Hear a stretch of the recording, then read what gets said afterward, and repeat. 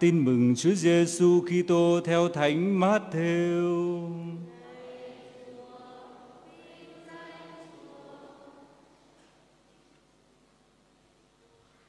Sau đây là gốc tích Đức Giêsu Kitô. Bà Maria, mẹ người, đã thành hôn với ông Giuse, nhưng trước khi hai ông bà về chung sống, bà đã có thai do quyền năng Chúa Thánh Thần. Ông Giuse, chồng bà, là người công chính và không muốn tố giác bà, nên mới định tâm bỏ bà cách kín đáo. Ông đang toan tính như vậy thì kìa sứ thần Chúa hiện đến báo mộng cho ông rằng Này ông Du Xe, con cháu David, đừng ngại đón bà Maria vợ ông về vì người con bà cưu mang là do quyền năng Chúa Thánh Thần. Bà sẽ sinh con trai và ông phải đặt tên cho con trẻ là Giêsu vì chính người sẽ cứu dân người khỏi tội lỗi của họ. Tất cả sự việc này xảy ra là để ứng nghiệm lời Chúa phán xưa qua miệng ngôn sứ. Này đây, trinh nữ sẽ thụ thai và sinh hạ một con trai. Người ta sẽ gọi tên con trẻ là Emmanuel, nghĩa là Thiên Chúa ở cùng chúng ta. Khi tỉnh giấc, ông du xe làm như sứ thần chúa dạy và đón vợ về nhà đó là lời chúa kính thưa cộng đoàn phụng vụ nếu bây giờ tắt hết tất cả các cái đèn của cái hang đá kia đi, thì chúng ta có một cái cảm giác là chúng ta sống trong hai cái thế giới khác nhau. Một thế giới ở ngoài nhà thờ, đèn, ngôi sao cây thông máng cỏ rực rỡ, ồn ào. Tấp nập người tới người lui. Vào nhà thờ chả thấy có cái gì mới mẻ hơn cả. Cũng vẫn thế, cha vẫn mặc áo tím như thường, buồn bã hết sức. Chúng ta sống như là cửa nhà thờ thì đóng và chúng ta ở trong nhà thờ một với một cái bầu khí khác hẳn với cái không khí lễ hội ở ngoài kia.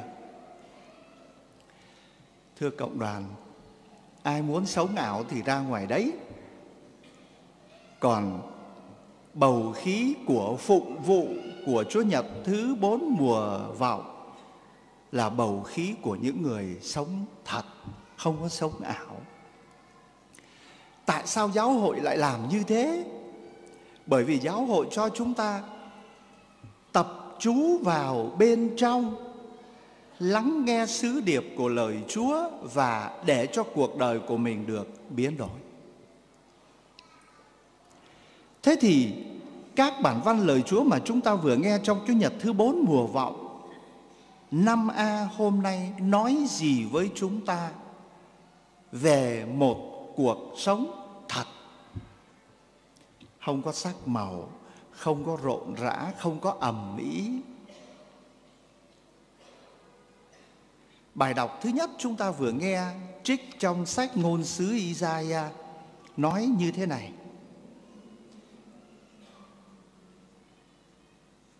Chính Chúa thượng sẽ ban cho ngươi một dấu một dấu này đây, một trinh nữ sẽ mang thai, sinh hạ một con trai và đặt tên là Emmanuel. Chúng ta nghe cái từ Emmanuel, chúng ta quen lắm rồi. Mùa Giáng sinh là chúng ta thấy nhiều nơi người ta gắn một cái chữ ở trên cái máng cỏ hay là một cái hang đá gì đấy là Emmanuel. Sách ngôn sứ Isaiah nói với chúng ta về một dấu chỉ một dấu chỉ là một người nữ mang thai sinh một con trai và được gọi tên là Emmanuel. Và chữ Emmanuel nghĩa là gì? Nghĩa là Thiên Chúa ở với chúng ta. Thiên Chúa ở với chúng ta. Và như thế thưa cộng đoàn, bài đọc thứ nhất nói với chúng ta về một dấu chỉ dấu chỉ ấy là gì một người nữ mang thai và sinh một người con trai và người con trai ấy được gọi là Emmanuel nghĩa là Thiên Chúa ở cùng chúng ta. Thưa cộng đoàn, đấy là dấu chỉ mà giáo hội qua bài đọc thứ nhất hôm nay nói với chúng ta để dẫn chúng ta đến bài phúc âm. Như thế thì dấu chỉ một người nữ mang thai sinh một con trai và đặt tên là Emmanuel, nghĩa là Thiên Chúa ở với chúng ta. Nói với chúng ta một sứ điệp đức tin là cái gì? Một Thiên Chúa xuống thế gian này để làm gì? Để ở với chúng ta. Một Thiên Chúa thì khác xa chúng ta. Một Thiên Chúa là đấng tạo hóa nhưng mà Thiên Chúa ấy đã đến để ở với dân của người. Thưa cộng đoàn bây giờ chúng ta chỉ cần ở đây thôi. Với đi tam đảo thôi Trong cái mùa này này Chúng ta thấy nó đã khác nhau lắm rồi Chúng ta cũng phải cố gắng thích nghi lắm rồi Ở trên tam đảo thì thường cách ở dưới này 5 độ Đấy.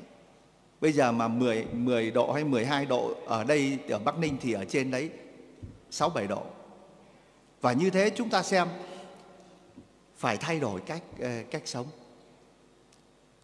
Chỉ cần cùng là người Bắc Ninh nhé, ở đây cũng địa phận Bắc Ninh mà ở Tam Đảo thì cũng địa phận Bắc Ninh.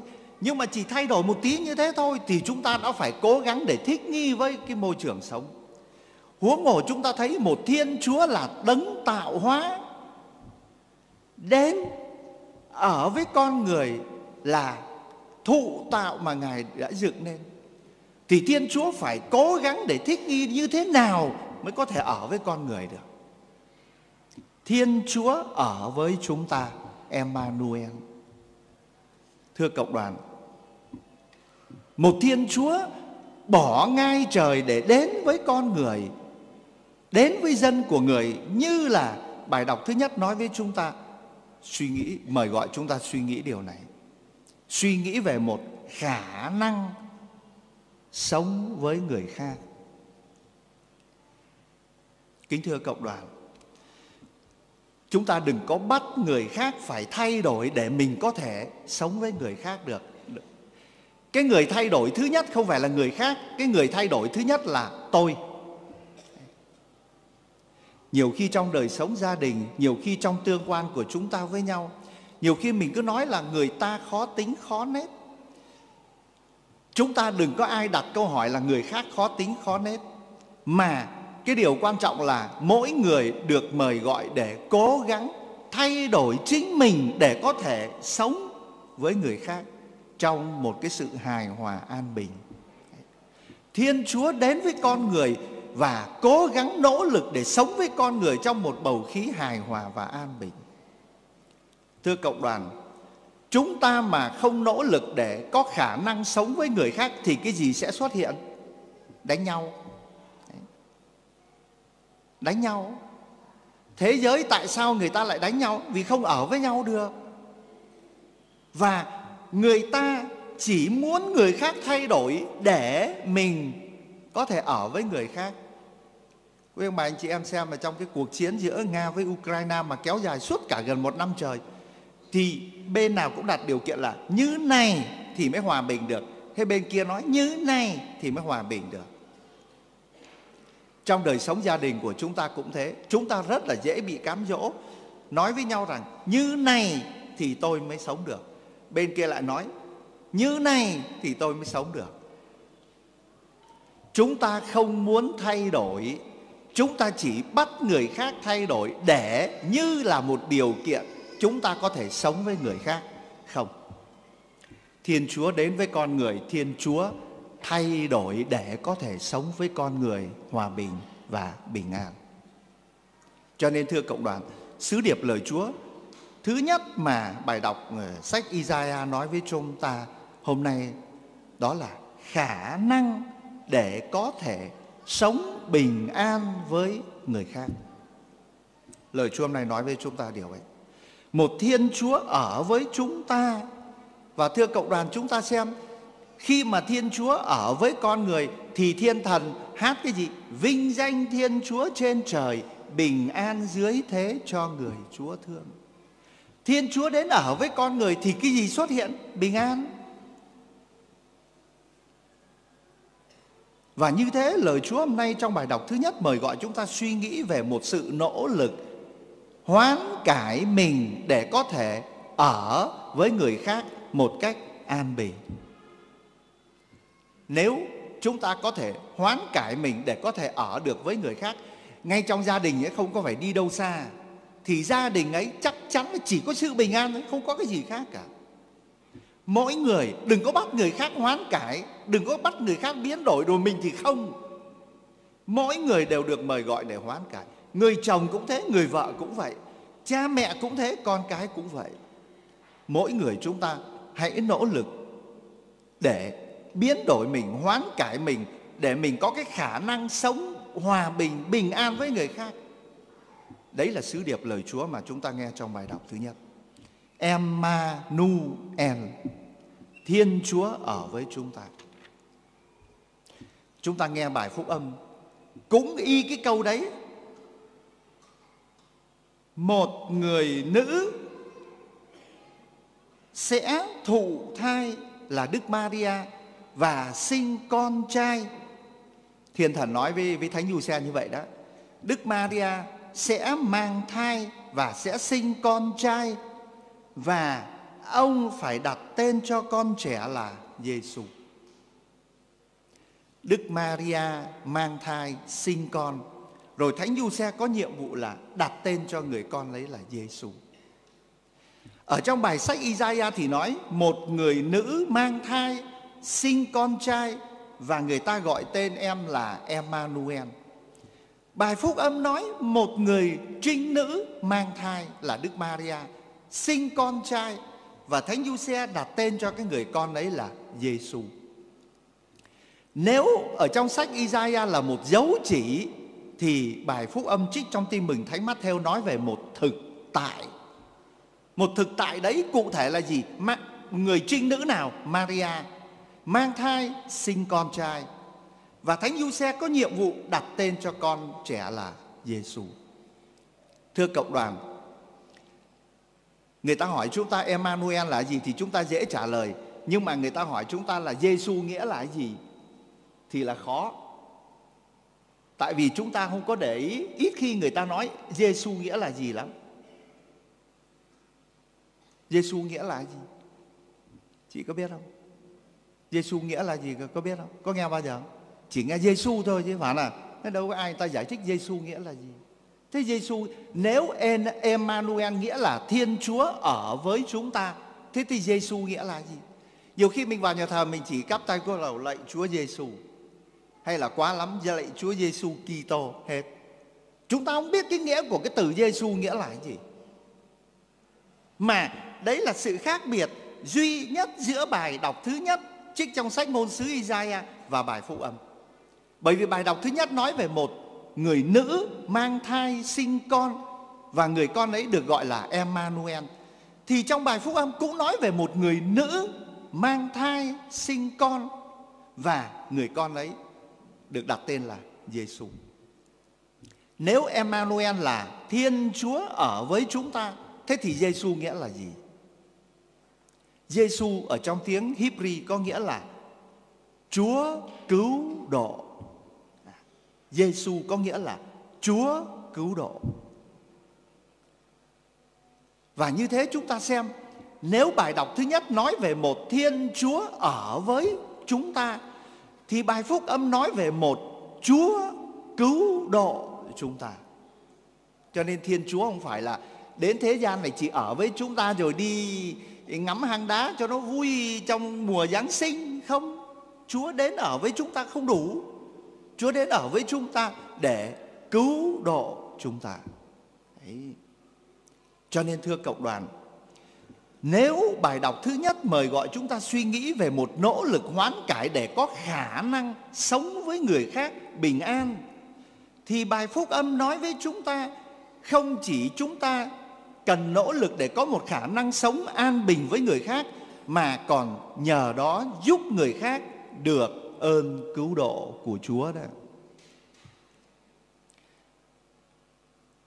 Cái điều đấy muốn nói cái gì? Cái điều đấy muốn nói cái này này. Thưa cộng đoàn, nếu chúng ta sống thành công trong trong công việc, nếu chúng ta làm cái gì đấy cũng êm xuôi, cái gì đấy cũng tốt đẹp, mà cuối cùng chỉ có là không được cứu độ thôi. Thế thì cái thành công ấy để làm gì?